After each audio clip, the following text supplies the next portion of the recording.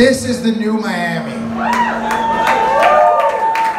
And it's a Miami that embraces blockchain and Bitcoin because Miami wants to be in the forefront of technology because we all know that we owe it not only to our generation, but we owe it to our children's generation to have the most forward-thinking economy on the planet.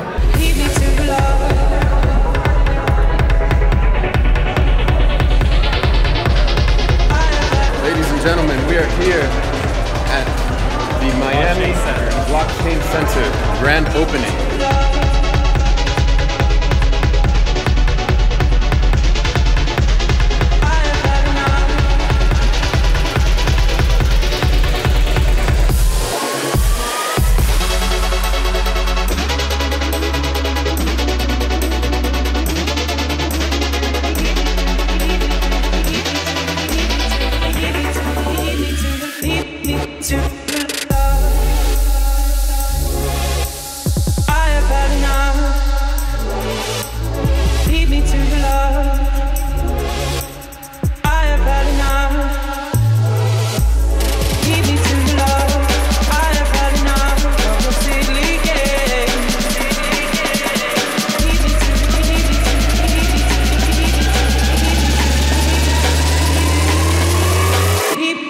We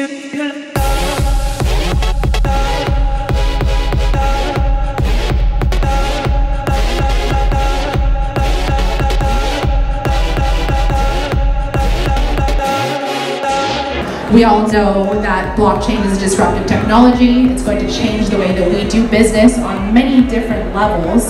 And we want to make sure that Miami becomes one of the best educated cities in the world when it comes to this technology.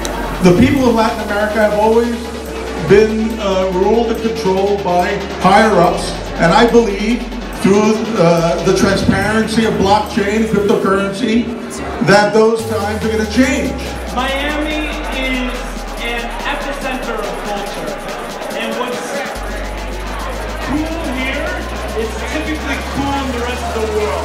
And so we're lucky that we not only have the city embracing this project and what Nick and Eryka are doing, what all of you are doing for our ecosystem, but we have the Miami Beach Chamber of Commerce, Jerry Libbin, we have the DDA, we have the Greater Miami Chamber of Commerce, so many sponsors here today that are making today a reality. For me, it's just a super exciting moment. Let's cut the ribbon on this.